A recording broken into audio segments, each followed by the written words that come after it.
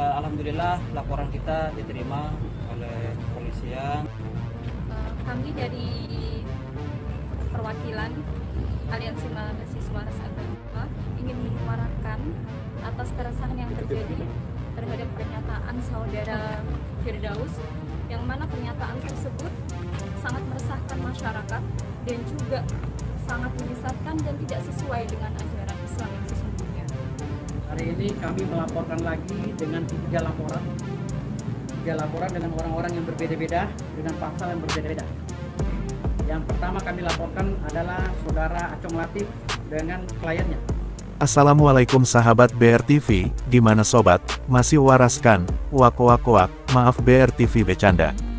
BRTV ucapkan terima kasih banyak buat sobat yang udah mendukung channel ini, buat sobat yang baru bergabung BRTV ucapkan, selamat bergabung, oke sobat BRTV semua. Tema kita kali ini masih seputaran Bapak tersakti sekaligus terpintar di dunia, yaitu Bapak Firdaus Oyowobo keturunan Kesultanan Bima bin Cucu Jin. Oke sobat kita lanjut ke pembahasannya. Eh, Alhamdulillah laporan kita diterima oleh kepolisian. Pernyataannya yang pertama, eh, saudara Firdaus menyatakan bahwa dukun adalah bagian dari agama. Memang ada spasinya, akan tetapi beliau melanjutkan lagi khususnya bagi agama Islam. Kemudian yang kedua, mereka menyatakan beliau menyatakan bahwa orang yang tidak percaya dengan dukun maka batal syahadatnya dan ini sangat tidak sesuai atau sangat sangat melanggar fatwa MUI tahun 2005 yang menyatakan bahwa praktek perdukunan itu haram. Mengejutkan, sekelompok mahasiswa melaporkan Firdaus Oyowobo. Seperti yang BRTV katakan, Acong Latif bukanlah yang pertama dan terakhir melaporkan Firdaus. Tetapi akan ada lagi yang akan melaporkan Firdaus cucu Jin ke polisi. Sobat BRTV memberi apresiasi kepada teman-teman mahasiswa, yang sudah tegas dan mengambil keputusan yang sangat tepat sekali. Tentu dengan banyaknya pelapor Firdaus, Firdaus bisa jadi tersangka, tentu tindakan ini membuat Firdaus cucu Jin ketar-ketir. Sobat BRTV harap, kepolisian agar secepatnya menangani kasus ini, hingga tidak berlarut-larut, dan Firdaus Oyowobo cepat diproses, agar ini menjadi pelajaran untuk Firdaus cucu Jin, dan Firdaus semoga cepat masuk penjara. Firdaus cucu Jin, sangat berbahaya bagi rakyat Indonesia, khususnya bagi umat Islam, banyaknya perkataan dan tingkah-tingkah Firdaus yang menyesatkan umat, jika ini dibiarkan terus-menerus, akan banyak rakyat Indonesia yang bodoh, seperti Firdaus cucu Jin, jadi buat kepolisian mohon kasus ini dipercepat prosesnya. Sebenarnya saya udah berapa kali melihat eh, videonya Firdaus masalah permintaan maaf. Minta maafnya khususnya ke umat Islam. Cuma di situ Firdaus itu kayaknya kurang gentle. Yang kedua, saya minta ke polisian ini segera proses. Harus, karena apa? Firdaus ini kalau tidak diproses, saya minta atau bisa ditahan. Ini akan segera apa ya, akan lebih ya belum merasakan lagi gitu.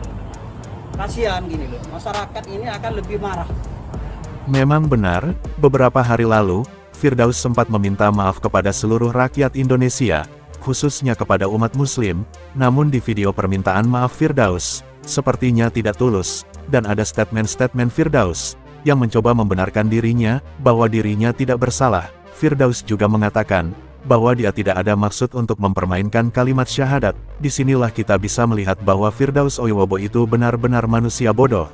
Yang sok pintar, Firdaus mengatakan bahwa statement dia tersebut, tidak ada unsur untuk menjelekan syahadat, itu hanya untuk membalas statement dari pesulap merah. Sungguh kata-kata Firdaus seperti orang bodoh.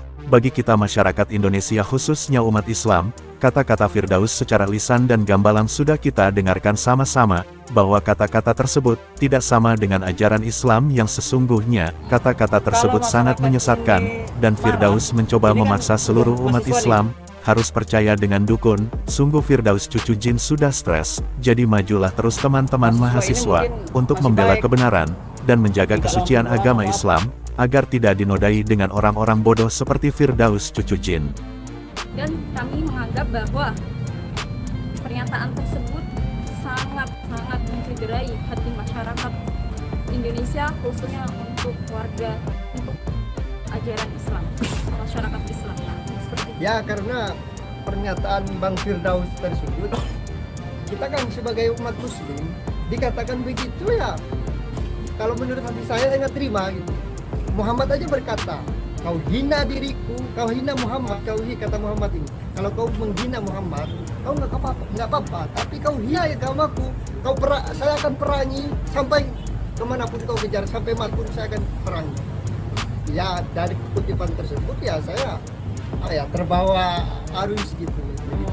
Semoga saja dengan adanya teman-teman mahasiswa ini, membuat Firdaus Oiwobo sadar dengan kesalahannya yang dia perbuat, dan mau mengakui dan meminta maaf dengan tulus. Namun menurut pandangan BRTV, hal yang mustahil bagi Firdaus Oiwobo mau meminta maaf dan mengakui kesalahannya, namun kalau kita perhatikan dan kita simak, Firdaus terlalu keras kepala dan sangat angkuh, dia melakukan kesalahan pun pasti diperjuangkan dan akan dibenarkannya. Intinya Firdaus ini maunya selalu merasa benar, meski semua salah dan dusta saja, sudah pantas bagi Firdaus untuk mendapatkan ganjaran hukuman yang setimpal, agar membuat Firdaus Oiwobo pelajaran, dan dia mau bertobat. Ini kami melaporkan lagi dengan tiga laporan. Tiga laporan dengan orang-orang yang berbeda-beda, dengan pasal yang berbeda-beda. Yang pertama kami laporkan adalah saudara Acong Latif dengan kliennya yang telah melaporkan saya pribadi dengan tuduhan pelanggaran undang-undang ITE. Lalu saya keberatan, saya anggap itu laporan palsu. Ya, maka saya laporkan hari ini dengan pasal 224 KUHP untuk pasal 317 KUHP. Laporan palsu dan fitnah. Tidak terima dilaporkan oleh Acong Latif, Firdaus kembali melaporkan Acong Latif. Ternyata Firdaus ini orangnya benar-benar tolol ya, jadi kalau kamu yang melaporkan orang-orang kemarin gimana Firdaus?